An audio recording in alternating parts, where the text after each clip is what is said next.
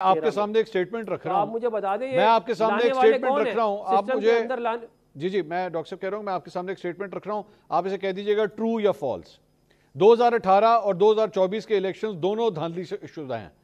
True या false controversial हैं दोनों। चले बहुत यही यही मैं आपका ये भी एक्सेप्ट कर लूँगा। अतर साहब आप कुछ कह रहे थे? ठीक है।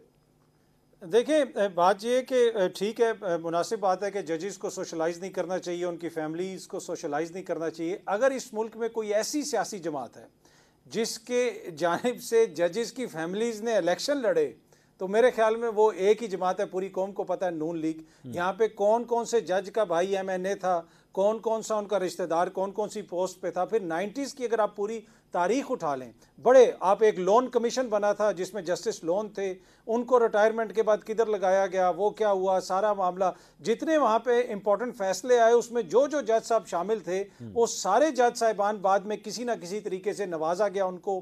फिर सदर साहब रफ़ीक तारर साहब को सदर बनाया गया। तो ये सारी एक तारीख है ना यहाँ पे।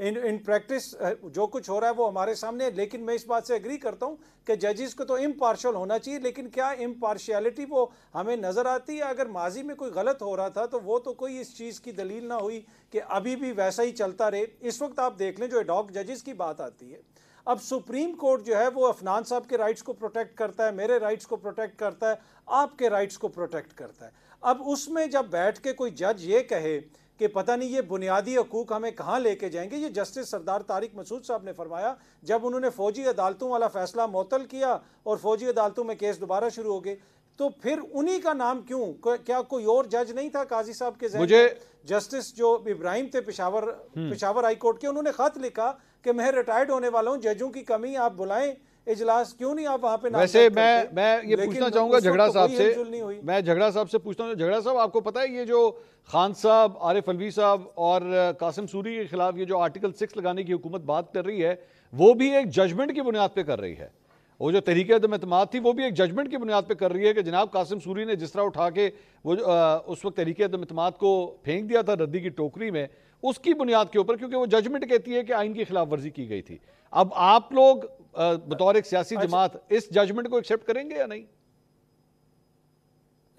मंसूर साहब वो इजाफी नोट कहता है। एक जज साहब ने इजाफी एक में एक हाँ, उसमें तो देखें जजमेंट के अंदर मंसूर साहब, मैं छोटी सी चीज़ अर्ज़ करना चाहूँगा। एक जज साहब ने इजाफी नोट में लिखा था कि इमरान खान के खिलाफ, आरिफ अलवी के खिलाफ और कासिम सूरी के खिलाफ आर्टिकल सिक्स के तहत कार्रवाई हो और उन जज साहब का भी नाम प्रपोज किया, काजी फायजीसा साहब ने, डॉग जज लेकिन सर, उस उस बेंच के अंदर सबने ये कहा कि आइन की खिलाफ वर्जी हुई है। इसमें तो कोई दो राय नहीं है। जी तो वो वो तो देखें उसके बाद फिर जो इलेक्शंस के हवाले से फैसला आया उसमें गवर्नर झगड़ा साहब की बात सुन गया कि गवर्नर सर झगड़ा साहब झगड़ा साहब का जवाब जी झगड़ा साहब देखें यही तो फ़र्क है ना। देखें अगर पीएमएलएन का माजी मुख्तलिफ़ तरीके से बोलता ना जो अथर काजमी साहब ने नाइन्टीज़ की हिस्ट्री दे दी है मुझे हँसी आ रही थी जब ये जज्बाती हो जाते हैं कि वो जजेस की फैमिली को किसी से बात नहीं करनी चाहिए लेकिन शहबाज शरीफ को वो जो हमारे क्रिकेट वाले जज थे जस्टिस कयूम को फ़ोन करके ज़रूर कह देना चाहिए कि क्या करना चाहिए। या तारड़ साहब को ब्रीफ केस ज़रूर देने चाहिए कि चमक की बातें जो हैं इनके अभी के एलाइज ही करें। बिलावल से पूछ लेते कि बेनज़ीर बीबी चमक की बात सही कर रही थी या नहीं सही कर रही थी। और ये उसके बाद रफीक तारड़ को क्यों जो है वो प्रेसिडेंट ऑफ़ पाकिस्तान बनाया गया। तो ये मतलब प्रेसिडेंट्स इन्होंने सेट किए आप अच्छा है कि आपने 2022 का फैसला जो है वो ले आया। हम्म। एक आपका सवाल था कि फैसला आपने माना फैसला आपने माना। इजाफी नोट का अथर ने क्लियर कर दिया। फैसला हमने माना इसलिए तो Imran Khan walked out of the prime minister house Imran Khan के ख्याल में जो वोट ऑफ़ नो कॉन्फिडेंस था उसमें बहुत से शकूक थे वो अपनी जगह। जब एक बार सुप्रीम कोर्ट ने फैसला दिया उसी वक्त इमरान खान निकल गए। अब compare that with the fact कि नबे दिन में इलेक्शन होते हैं।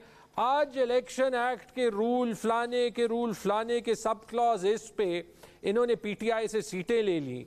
जहाँ पे ब्लैक एंड व्हाइट में लिखा है कि इलेक्शन नब्बे दिन में होंगे तो ये टीवी पे कहते थे मेरा, मेरा, मेरा, मेरा,